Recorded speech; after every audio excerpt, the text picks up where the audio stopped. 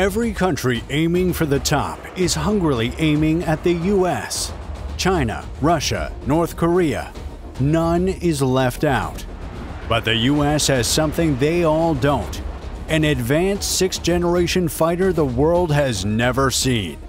This 300 plus million dollar fighter would end any war targeted at the US before the war even has a chance to begin. Packed with an avionics suite that makes it spot targets on the other side of the planet, an armament suite that enables it to strike targets on the other side of the planet, and a stealth suite that enables it to hide in plain sight.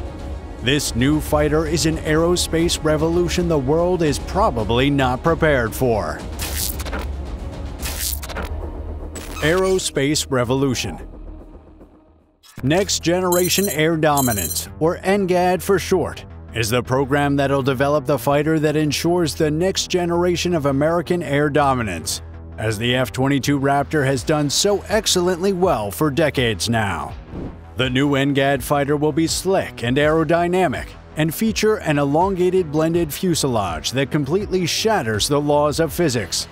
Within this fuselage will be three war-defining technological wonders, an AESA radar, stealth, and adaptive cycle engines.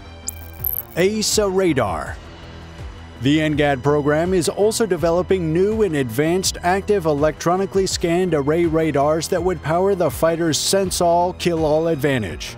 Active electronically scanned arrays, or AESA radars, have many advantages over the previous generation of radars.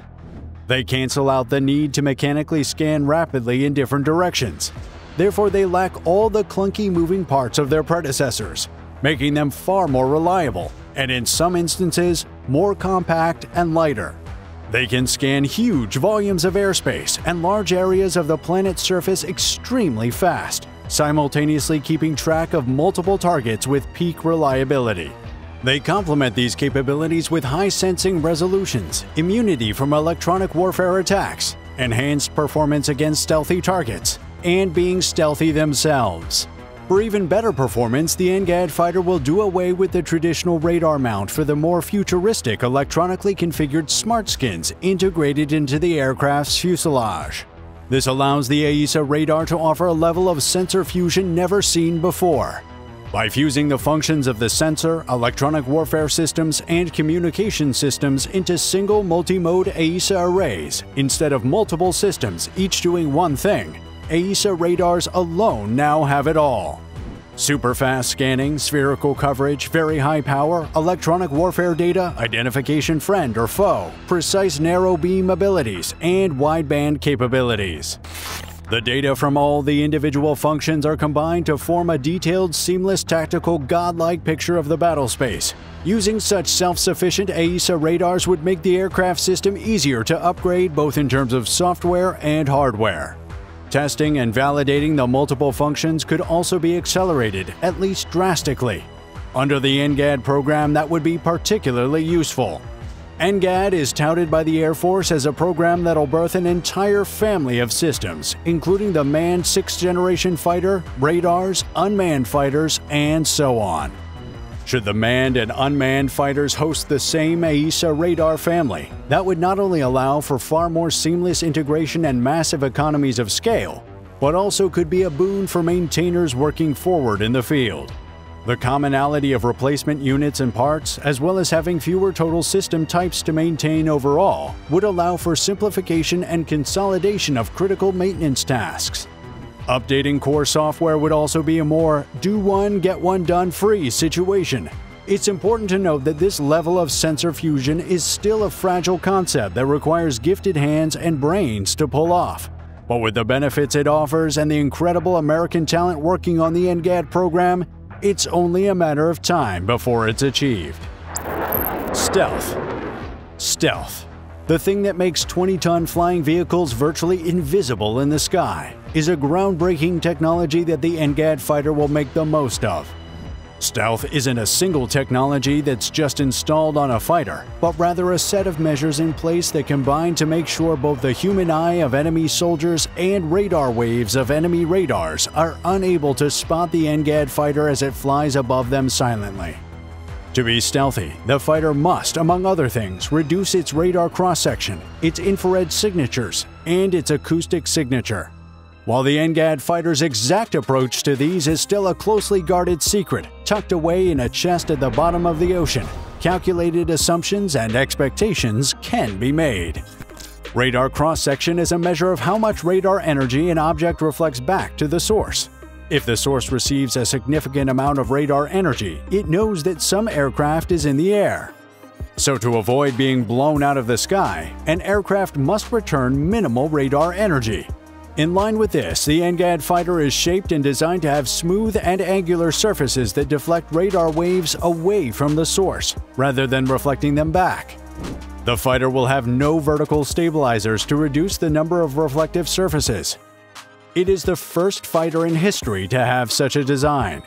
The fighter will also be coated with radar-absorbent materials that absorb or scatter radar waves, rather than reflect them.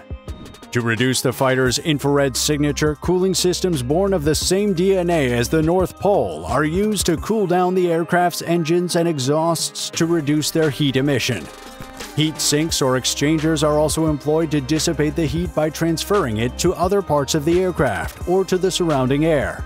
In addition to being cooled, the fighter's engines and exhausts are shielded from the direct view of the infrared sensors. And finally, the acoustic signature that must be reduced. Acoustic signature is simply a measure of how much sound an object creates. The NGAD fighter must be dead silent in its operations. One roar, one engine hiccup, or one subscribe to this YouTube channel could be the difference between a successful mission and an encounter with a surface-to-air missile. To keep its acoustic signature low, the NGAD fighter must have engines, propellers, or fans, and other technology specifically tailored for noise cancellation, noise masking, and other noise reduction actions. All of these and more will combine to enable the fighter to access anti-access areas undetected dance for a few minutes, and then execute its mission. Engine The engine that would power the NGAD fighter is currently being developed in the NGAP program. NGAP, meaning Next Generation Adaptive Propulsion, is a massive NGAD subprogram that's on the hunt for a revolutionary jet engine.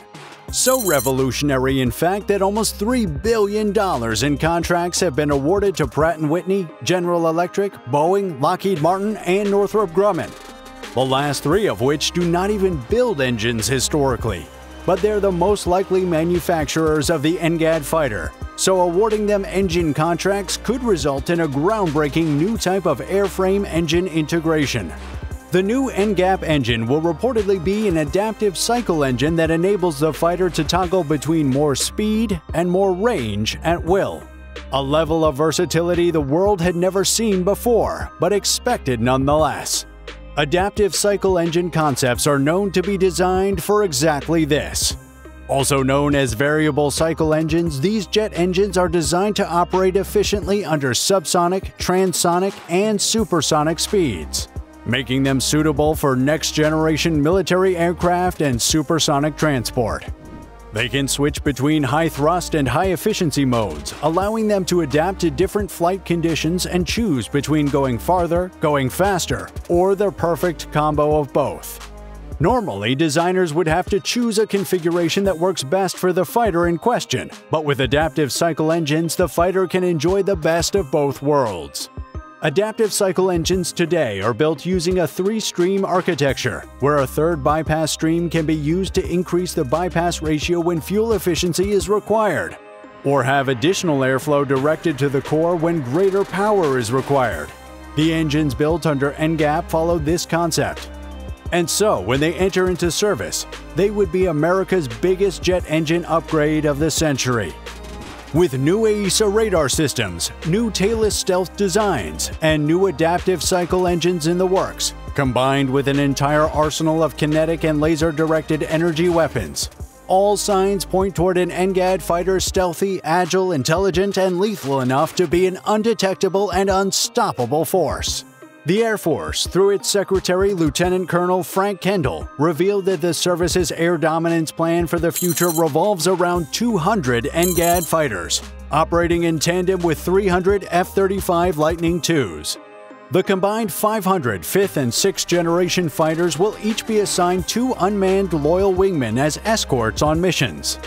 Over $4.2 billion has been spent on the NGAD program so far. An additional $11.7 billion will be spent between fiscal years 2024 and 2027. And a lot more billions, at least 40 billion more, will be spent on the program.